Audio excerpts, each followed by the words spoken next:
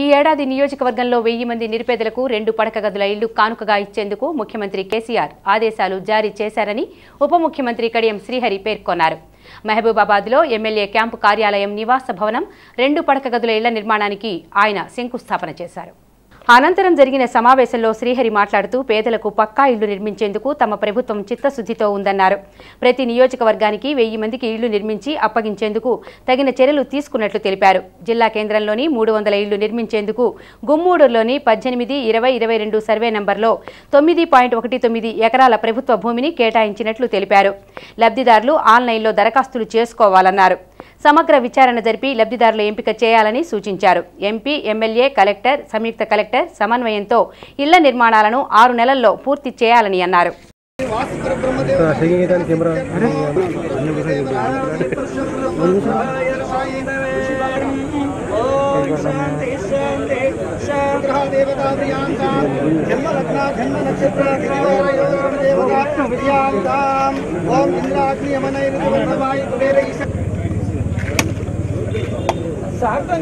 కొంచెం తేన దేవ తస్మాత్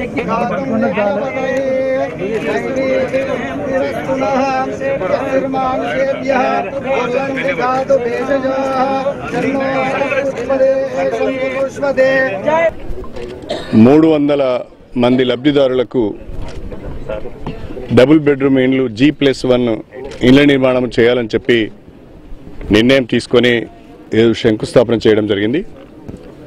రాష్ట్రంలో ఈ సంవత్సరం కూడా ఒక లక్ష ఇండ్లు హైదరాబాద్ మహానగరంలో ఒక లక్ష ఇండ్లు గ్రామీణ ప్రాంతాలలో నియోజకవర్గానికి వెయ్యి ఇండ్ల చొప్పున డబుల్ బెడ్రూమ్ ఇళ్ళ నిర్మాణం చేపట్టాలని గౌరవ ముఖ్యమంత్రి గారు నిర్ణయం తీసుకొని ఆ మేరకు ఆదేశాలు కూడా ఇవ్వడం జరిగింది.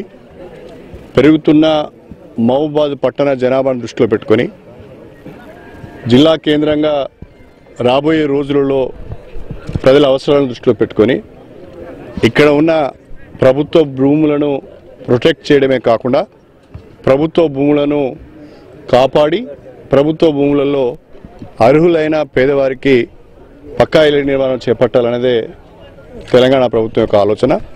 ఆ ఆలోచనలో భాగంగా ఈరోజు తొమ్మిది ఎకరాల పంతొమ్మిది గుంటలను మరి సేకరించి ప్రభుత్వ భూమిని సేకరించి ఇక్కడ మూడు వందల మంది లబ్ధిదారులకు మేలు జరిగే విధంగా ఇళ్ళ నిర్మాణం చేపట్టాం. లబ్ధిదారుల ఎంపిక కూడా పారదర్శకంగా ఉంటుంది.